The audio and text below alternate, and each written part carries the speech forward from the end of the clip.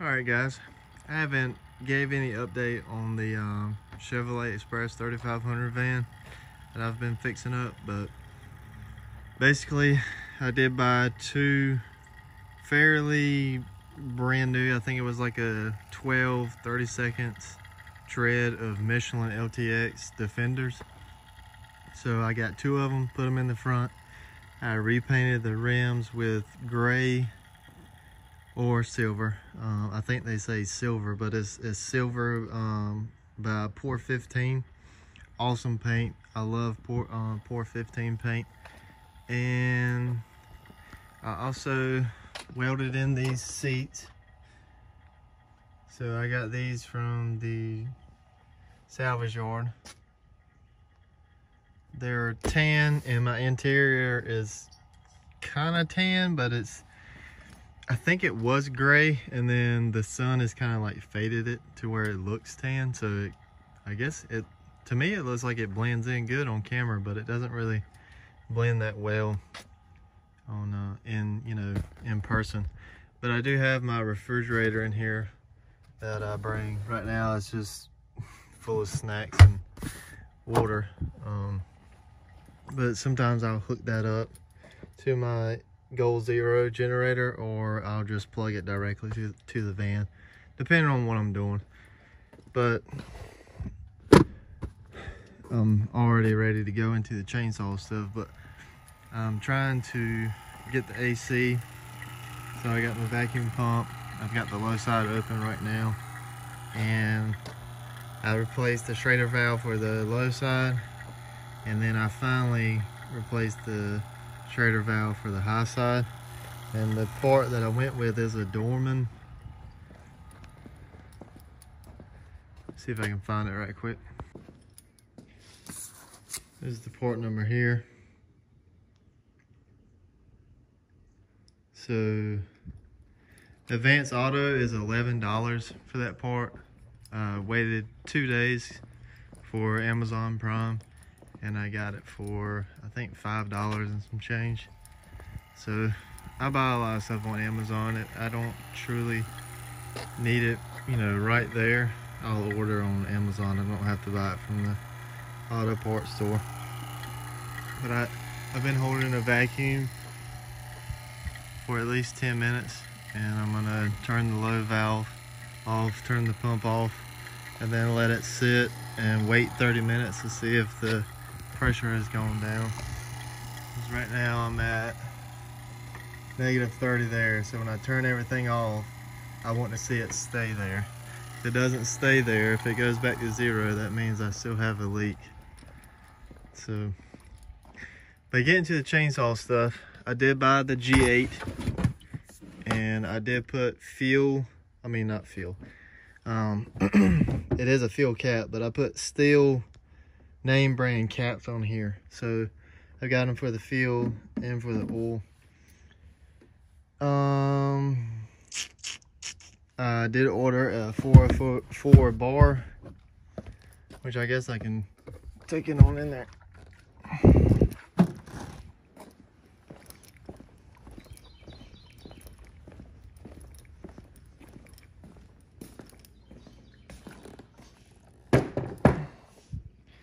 So I did get a 404 bar from Archer. This is their Pro Max. 42 inch 404, uh, 123 drive. So, and it did come with a free chain. Uh, it didn't cost a lot, but I don't like the um, ripping chain. I like a skip tooth because it's less um, you know, chain that I have to sharpen. So that's, but it's not a problem. It's, it looks to be a pretty good chain. I've been using Holzfforma chain and I don't have really nothing bad to say about that, but I'm gonna try out Archer and then in the future I'll probably try out um, GB and because I want to know how to change the nose out to a 3 8 that way then I can run 3 8 chain instead of 4 404 because I plan on buying, you know, rolls of 3 eighths and then I just want to put them up here. Because this is a 404, um, but a .063. So all my other chainsaws are 3 8 by .063. So if I just change the nose here, I should be able to run the 404 which I might have to change the sprocket. I'm not I'm not sure. I, I reckon I'll have to change the sprocket. But right now I'm just gonna run what it calls for. So 404 and if I need to I'll get another cha chain and make it skip tooth.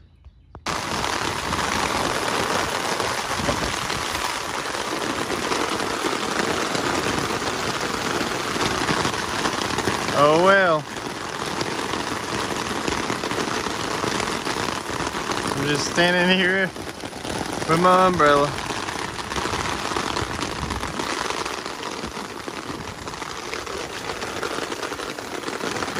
This is what I get for not pulling it in the garage. Oh well.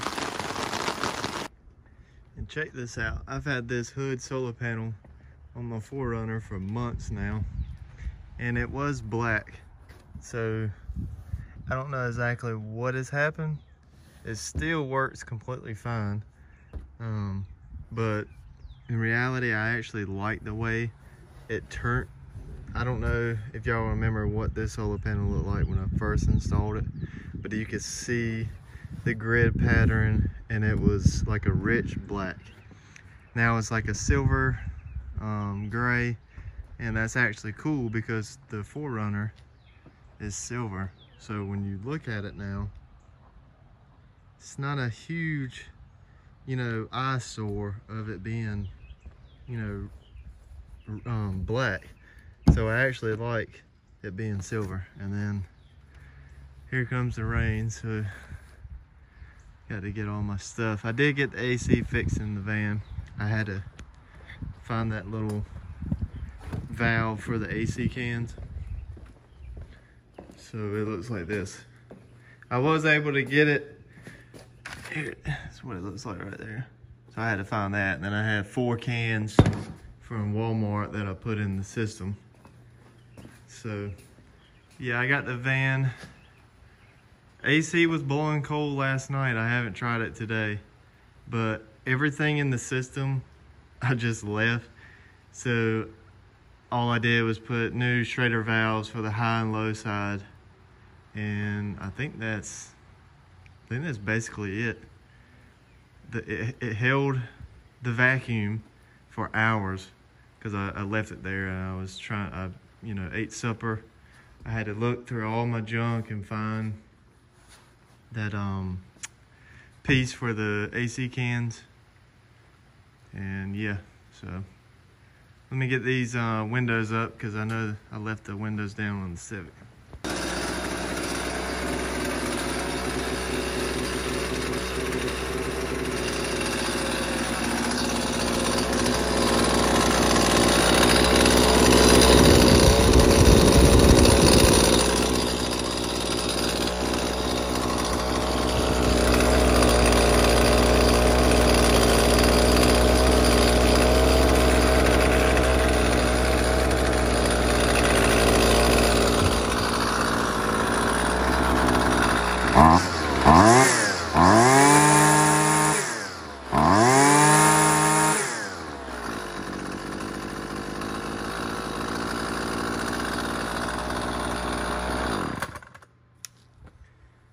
Alright guys, after new spark plug, had to go on Amazon and get a carburetor tool because it's the, I think it's a 21 spline and the head on it has to be really, really small to get in between here. It fits right inside of there. And there's two adjustment screws for the carb. I got that all worked out because what happened with this um, Husky 128 LD. If you ran it on half choke, it would stay on and run great. But if you took the choke off, it would idle. And then when you would hit the throttle, it would bog down and you would have to feather it to keep it running. Or if you went full trigger, it would die. So the motor would go out. Um, all I did was new spark plug and it's the Champion. Let me see if I can find it.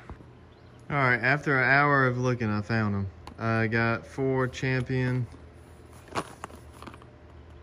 RCJ8Y. And I can't remember what I paid for these, but I got them off of Amazon for a deal. I want to say it was four for 15. Could be wrong though. But yeah, I'll put that in there. New spark plug, tune the car, boom. She runs completely fine now.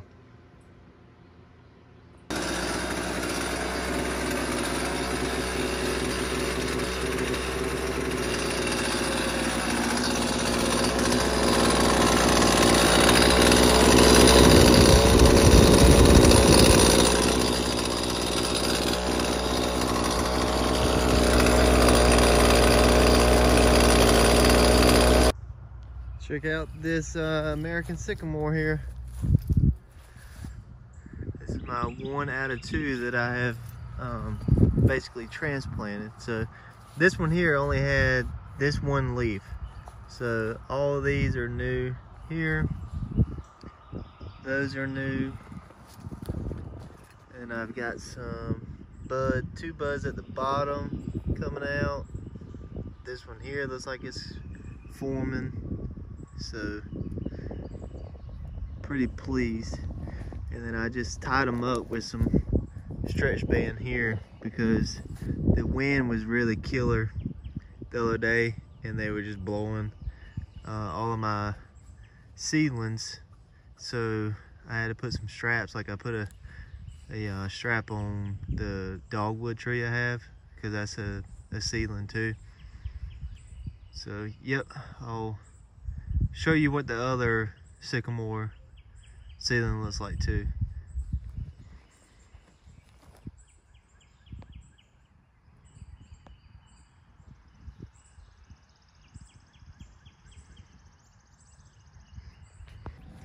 Here's my pin oak seedling.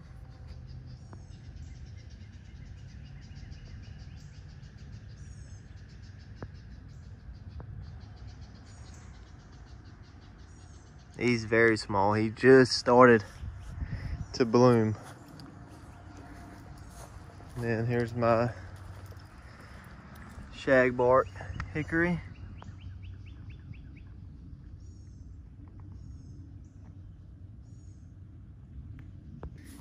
And this is my other sycamore here.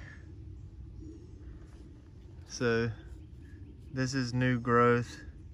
This is new growth. Basically everything from this bud and up is new growth.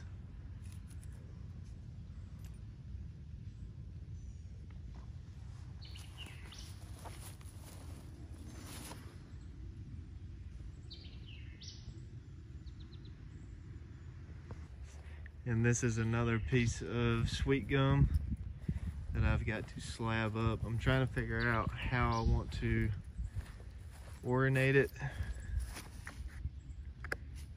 so what I'm gonna do is lay it to where it's facing, you know, like this, and then slab through there, but I've got to figure out how wide I can get it because I kind of want to cut it along there or I could cut it after I slab it. But the thing is is this looks about 50 inches or more there. So I'm gonna have to cut back down on it. That way I can fit my chainsaw mill on it. All right, I'm working on this um, table centerpiece here. So I'm just doing a 18 inch long piece of walnut and I've got to cut it off here to be 18 inches and then I'm gonna recess with some Forstner bits, these LED light candles, and then it's gonna go nine inches and then four and a half and then four and a half this way. And I'm basically gonna keep kind of a sawmill edge, but I'll sand, you know, the tops around. And then I'll sand this live edge here just to keep it kind of rusted looking. And then I had to fill in a lot of wormholes. And that's basically it. So and I use CA dark brown glue or CA you know glue for those. And I just got to sand those out. But this is going to be a really beautiful piece because the heart grain looks amazing. And then you've got all this spalting in the sapwood so I think this is going to look really nice once I get it finished I don't know if I want to do a natural finish and go with my tung oil mix or do a polyurethane or a spar urethane. I haven't really decided. Knowing me, I'll probably do the natural finish first and then if I don't like it, I'll put spar urethane over top. Because this isn't gonna be used as a cutting board or anything like that, so I can just seal it up with whatever and that would be it. But I like to keep a, a natural finish on the walnut because it seems like it, it would last forever and then you don't have like an artificial look to it, which is what I don't like. I don't really like to use polyurethane or polyacrylic or any kind of um, substance like that. So, but we'll see. Experience the original Mattress Factory difference for yourself. When the sun goes down, the fun turns up. This summer at Busch Gardens. Escape the storm on the all-new Dark Coaster, now open. Feel the rush of world-class rides and the all-new indoor